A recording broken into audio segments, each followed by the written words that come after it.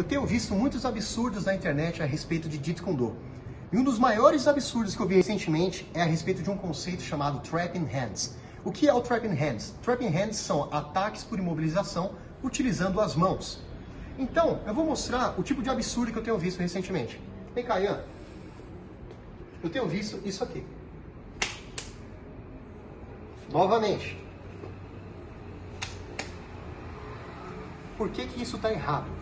Um dos conceitos principais do Trapping Hands é o conceito da desobstrução.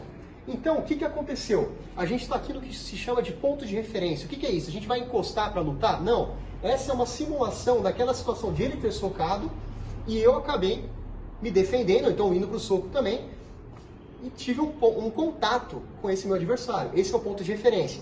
Então, eu estou aqui nessa situação do ponto de referência. Quando eu desobstruo, eu tenho que desobstruir para eu bater. E não para ele vir me dar um soco. E pior, né? Do jeito que está nessa situação, eu estou ajudando ele a me bater, porque ele não vai ficar parado, ele vai vir andando. Então, estou vindo de fora e fazendo ele me bater. Está completamente errado. Quando eu desobstruo, o meu braço que está aqui na referência, no contato, é ele que vai à frente e vai bater no meu adversário. E aí o que, que pode acontecer? Ele fazer essa obstrução também. Ele desviar o meu braço que está indo para o rosto dele. E aqui eu posso sim fazer uma imobilização, vindo aqui por baixo e bater.